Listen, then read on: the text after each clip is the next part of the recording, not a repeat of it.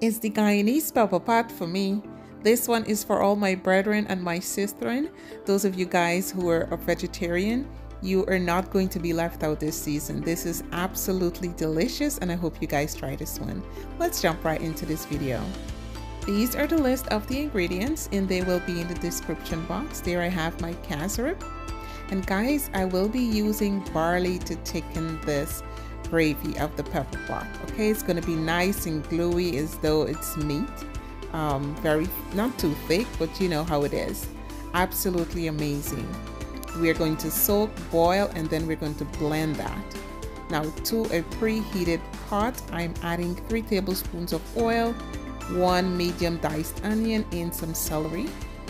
We are going to allow this to cook for about 2 minutes, then we go in with our habanero peppers. Alright, then we are going in with our mushrooms and here I am using baby bella mushrooms. These are the ones I had at the time.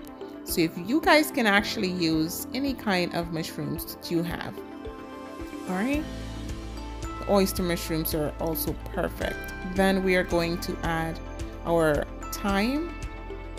Give that a good stir and season with some all-purpose seasoning allow that to cook for three minutes. Then we're going in with our cassareep this is going to give it that rich dark color.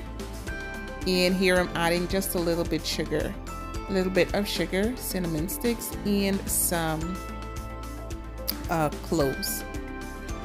All right give that a good stir and taste. Here guys you adjust the seasoning. Then you go in with the barley water mixture guys. This is actually going to thicken this so beautifully. Then you go in with your orange peel, that's a must, thyme and some pepper and we are going to taste this. Make sure it is absolutely beautiful. And after 15 to 20 minutes, this is what you get guys.